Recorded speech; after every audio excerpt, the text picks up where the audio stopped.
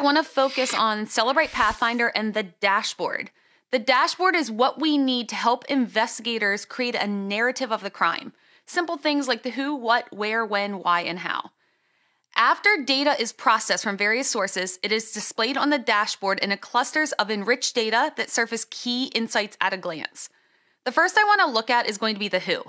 The who is going to allow us to look at digital persons, which enables investigators to interrogate a person versus just phone numbers. The next thing I want to look at is going to be these top media categories and media tags, which is going to reveal habits or pattern of life.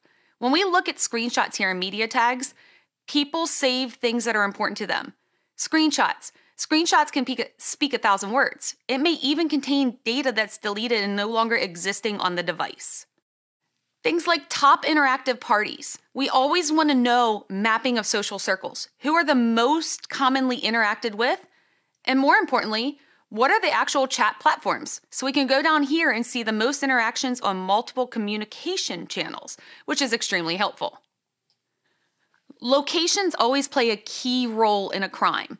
So simple things like going into and surfacing key locations that the user has been to or the devices have been to may be extremely fruitful to your investigation.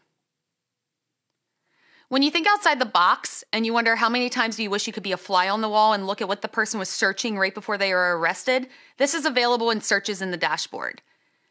Unorganized or unstructured data are listed in the top extracted entities, which could add a lot of value to your investigation. These are commonly the blind spots. Now, watch lists. If you have specific words or codes or any list that you want to create, you can create custom watch lists that can be run across the entire investigation, which allows investigators to have immediate access to data that may be relevant. Pathfinder also displays the most commonly used languages to take the guesswork out of it.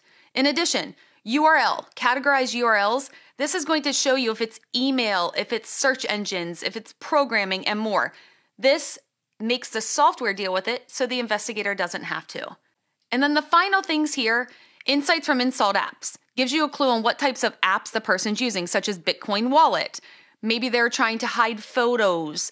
Um, if we look down here, we can see that we have hide files pictures, another application. And then finally, the device information, which is always important in every investigation.